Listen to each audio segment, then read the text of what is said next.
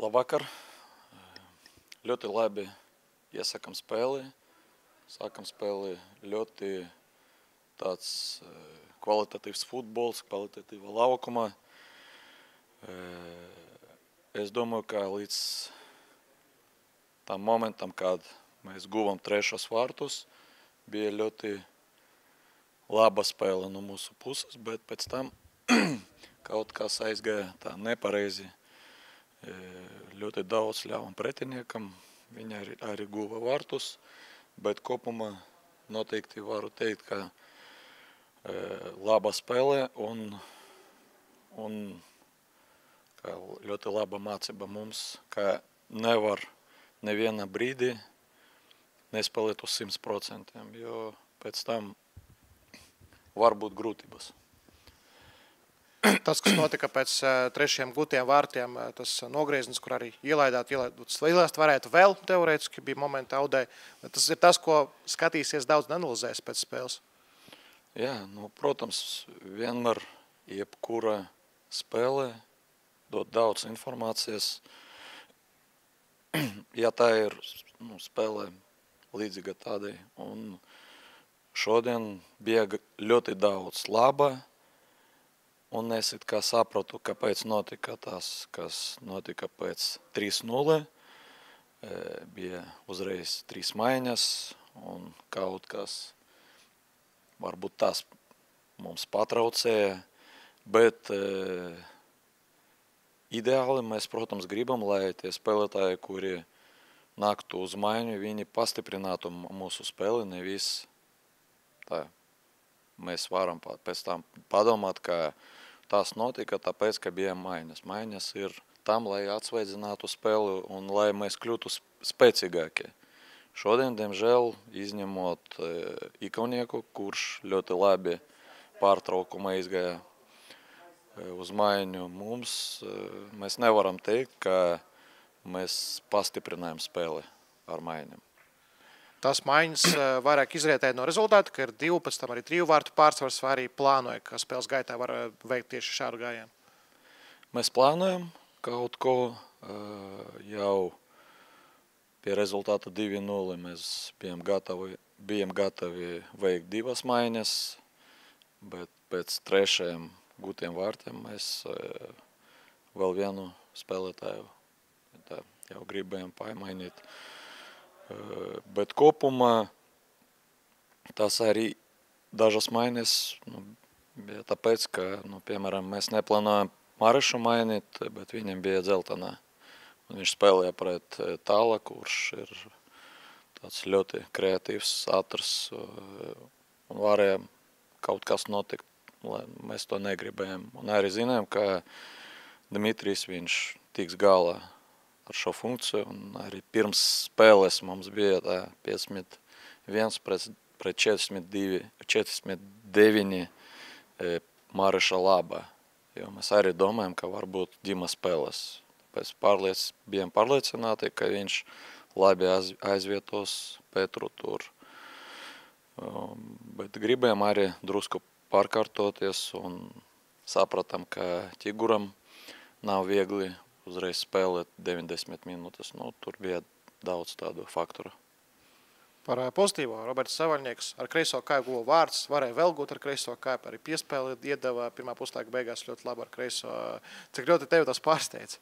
Mm, vispār nepārsteidza, jo viņš var tā izpildīt. Tur bija laba situācija, viņam ir kvalitāte. Starp citu, Robertam šodien bija 200 spēlē mūsu kluba, apsveicu viņu. Viņš ir mūsu rekordis un forši, ka viņš arī šodien guva tos vārtus. Ismēls Demandē vēl par viņu četras spēles pēc kārtas kūst vārds. Ziņo medī, ka interesi ir par viņu no Beļģijas. Var teikt, ka tiešām ir izaudzis šis spēlētājs vēl vairāk šajā sezonā. Un tur rēķinies ar viņu arī kā pamatsastāvu spēlētāju, tā skaitā uz Eirokosiem. Es nezināju neko par interesi un eh, par viņu. Es varu teikt, ka es, protams, recinos, recinājos ar viņu, ka, no, pam, ka, no, ka ar vienu no pamatsastāva spēlētājiem, bet viņam arī ir eh, tādi kritumi kā jebkuram spēlētājam, ir īpaši jaunam spēlētājam, bija dažas spēles, kur viņš nespēlēja vispār.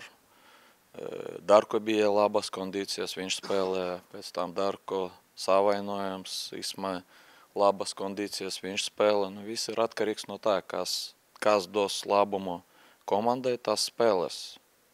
Ja konkurenti būs stiprākie, tad spēlēs viņi. Tagad arī Džiki ir ļoti tuvu, ļoti labi izskatās treniņos, labi strādā un viņam ir vairāk iespējas spēlēt. Neko vairāk es nevaru pateikt. Jā, par Maiču papildus jautājums. Esam pieraduši, ka viņš virslīgā arī Rīga laikos, arī RFS komandā iepriekšējā posmā ir tur dominējušais uzbrucējs visā līgā, ir bijis rezultatīvākais spēlētājs. Tagad jau ne pirmo reizi viņš ir uz soliņa, kad ir pieejams, vai kaut kādā veidā tur, nezinu, viņa akcijas ir kritušās, vai jūs esat jau tik stipri kļuvuši, ka ir viņa līmeņa uzbrucēji arī, nu, arī Ismēls un citi uzbrucēji. Nē, Darko ir viens no tiem spēlētājiem, kurš uh, ir ļoti svarīgs mūsu komandai. Vienkārši viņam bija savainojums. Tāpēc viņš nespēlēja, viņš netrenējas. Un, ja jūs atcerēsieties to gadu, kad mēs kļuvām čempion, par čempioniem, un viņam arī bija savainojums spēlē pret e, Valmieru. Viņam bija tāds lūzums. Viņš arī ilgu laiku nespēlēja, pēc tam viņš ir tāds spēlētājs, kuram ir nav viegli tā atgūst formu. Un mēs arī to laiku mēs e, to redzējām, zinājām un gatavojam viņu. Un, kad viņš bija gatavs, viņš aizbrauca uz Gentu. Pēc tam viņš bija gatavs Eirokausiem, bet e, šo sezonu viņam atkal ir e, savainojums pēc savainojuma. Tā ir ribas, tā ir vēl galva kaut kas notiek un nekā neizd neizdodas, lai viņš iegūtu to formu pilnvērtīgi. Bet mēs, protams, ceram uz viņu, un kad viņš bija labas kondīcijas, viņš guva vārtus. Bieži uzdodam jautājumus par Mārtiņu Čiguru, tagad mazliet citā plāksnē par viņu. Pirmo reizi viņš bija oficiālā spēlē vienlaikus laukumā ar Jānu Ikaunieko, divi radoši futbolisti. Kā tu, vai tu tev ir lielas expectācijas par to, kā viņi kopā sadarbosies, vai varbūt otrādi tu mazliet esi bažīgs, ka var, varbūt tā radošuma būs par daudz, vajag vairāk tādus, kuri tiešām ļoti daudz, daudz skrien un dara melno darbu. Kā, kā tu redzi tieši šādu pāri uzbrukuma grupā? Es, protams, es esmu priecīgs par to radošumu, pareizi, ja. bet jūs redziet, ka gan Kiga, gan Janka, viņi, viņi ļoti labi strādāja aizsardzību, un kad mums bija arī problēmas no pretinieka kreisa, kreisas malas, mēs atkal viņu e, tur pavirzījām ja, uz šo pozīciju, un viņš ļoti labi tika gala, un viņš ļoti labi strādāja. Man vispār nav nekādu pretenziju pret to, kā viņi, viņu attieksme ir uz tādu melnu darbu. Viņi pat dažreiz vairāk Ķīga strādā aizsardzībā, man, es pat kliedzu, ka, lai viņš būtu drusku augstāk.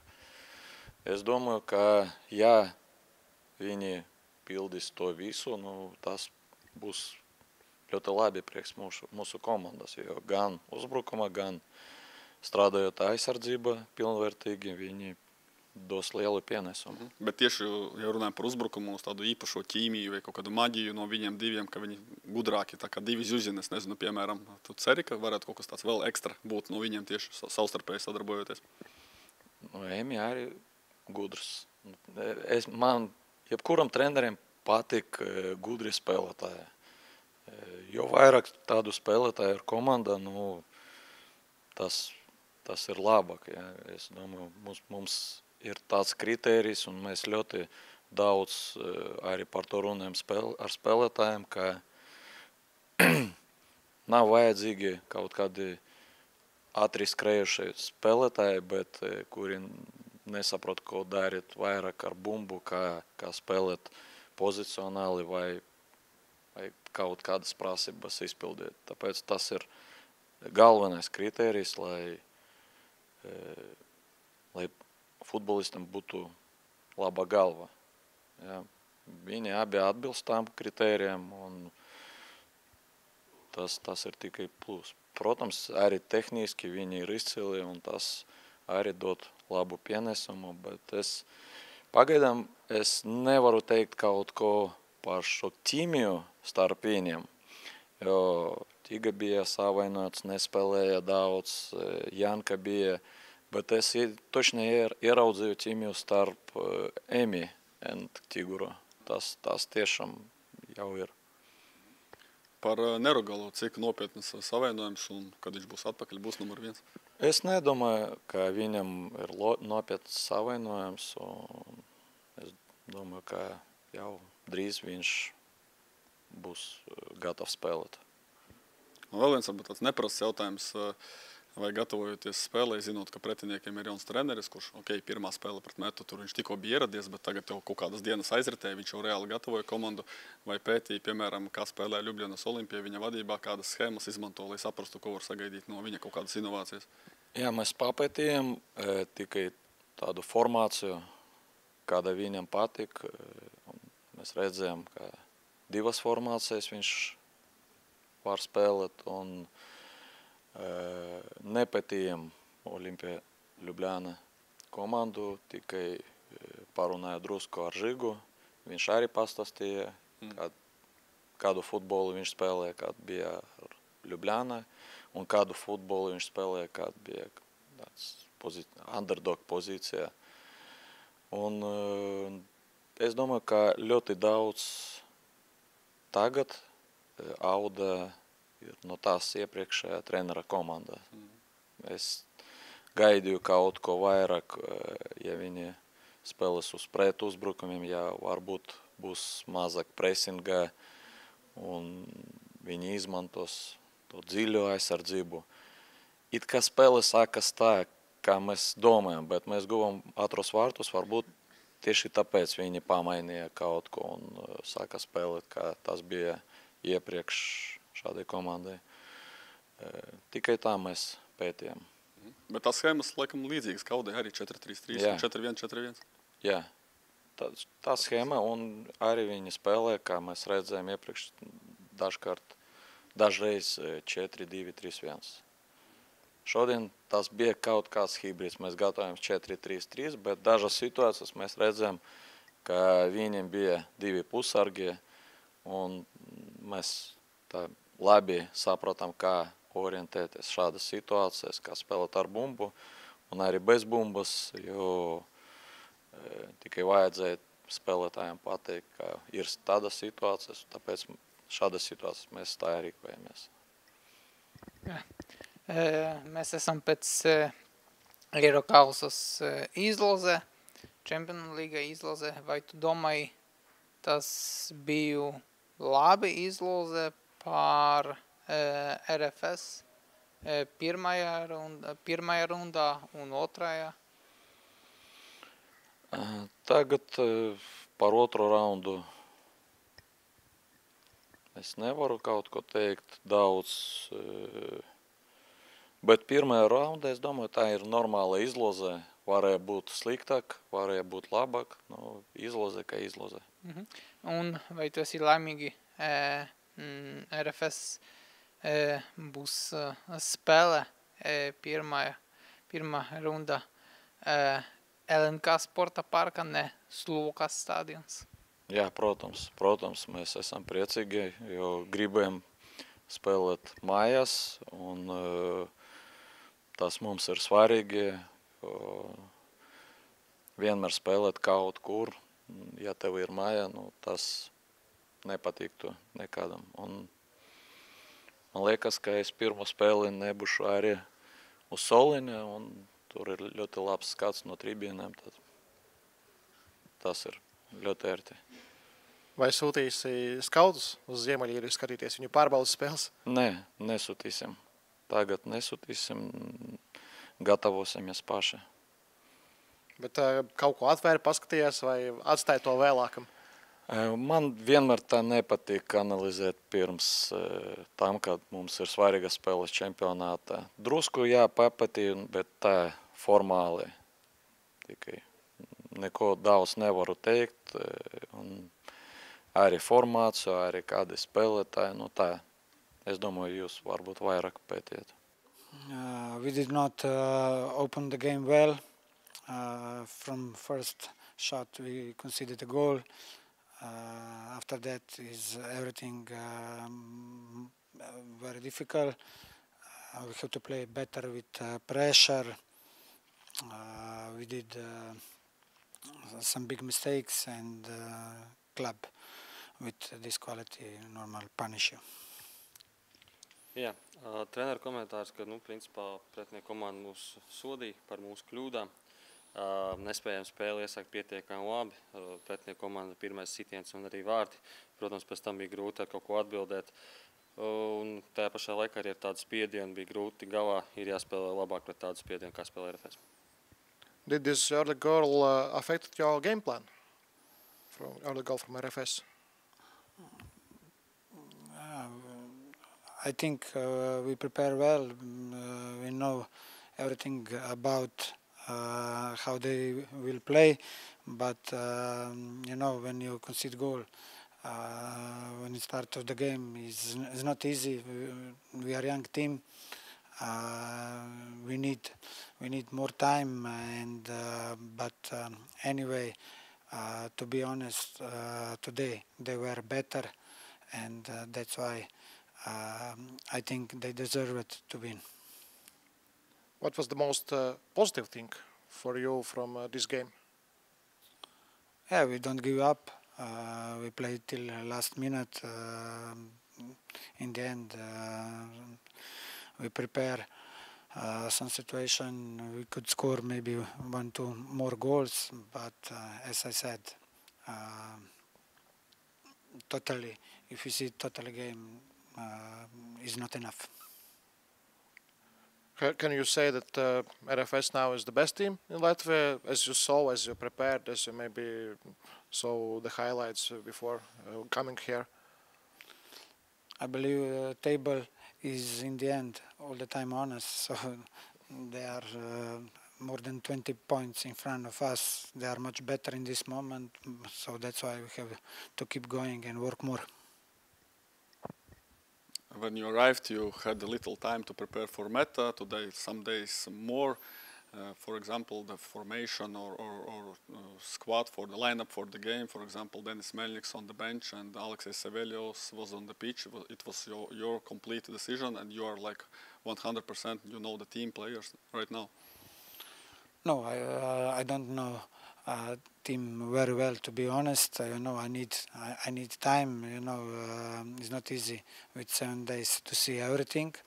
Um, what I uh, saw that uh, uh, we have some uh, good players, uh, but um probably uh, we need more quality. So mm, that's why I hope uh, there will come an- another two three players. Uh, especially we need them for Europe, but um, I believe that uh, every day, like a team, uh, we will be better. You feel this club Auda will be good for you, for I don't know, for, a, for feelings as a coach or, or infrastructure or job players. You like? The first impressions are good with, with the club. Yes, I, uh, I have very good communication with uh, all. Um, I talk, uh, I talk a lot uh, with them. Uh, they know they uh, we need time. You know, this is a process, and is everything is easier if they understand this. But I believe in the future, as I told you, every day we will be better. In Olympia Ljubljana, you mostly played uh, 4-3-3 or 4-1-4-1, and uh, the plays with previous coach. This is also very similar, or maybe even the same. Is it good for you as a coach that you maybe need to work with some small details or small things, and you don't need to make some revolution or completely other formation for the team during the season? Yes, it's easier if you play the same system, but uh, you know, in the end, uh, players play. You know, players their system. If you uh, understand what I want to tell you, so. Um, but um, uh, I want, you know, I want to adapt. This is very important. You know, uh, when you come in the other country, in the other league, you need also uh, sometimes uh, some time. So uh, I believe that um, every day, every day for me will be more easier because uh, I I will see uh, what we need uh, in the future. In your first press conference, you honestly admitted that you didn't know much about Latvian football, but did you know about Žiga Lipušček, your native from RFS, Slovenian player? Yeah, Žiga is uh, a good player. Uh, he's uh, left-footed, so uh, he's very dangerous in set pieces. Uh, so that's why, that's why probably he's captain. So uh, he has a lot of quality, and uh, he deserves to be here. And maybe other your native uh, who worked here like uh, five years ago, Slavisha Stojanovic. Maybe some about him. Ah, yes, he's my ex-coach. I know him very well. He's very good coach and uh, very good person. Uh, so he's one of the best in our country. Mhm. And uh, how um, I can can you compare the levels of uh, Virslīga and the level of uh, Prva Liga uh, in Slovenian league? Uh, mm, i- is it possible or maybe not? Um, yes, uh, you know some players uh, here uh, they are very good. They are very good, but uh, like a team, like a team, and uh, like all league, uh, I think uh, in this moment uh, Slovenia was uh, Slovenia is better. So this is my opinion. But um, as I said uh, one time here, uh, what can I see?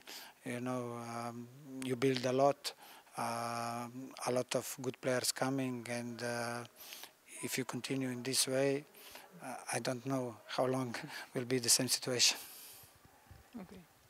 Maybe about uh, the draw of Euro Cups. How much uh, did you have a scouting of uh, opponents? How much did you saw which teams and how they play and which how strong they are? I don't know a lot uh, because I, I don't have time to uh, prepare uh, for them yet. Uh, but um, last year uh, I was uh, there and I know what what they will do. So I believe that we will prepare well and we can go in, in another level. Can we say that Faroe Islands are not your favorite country after last year? Ah, yes, uh, you know it's not easy to play there.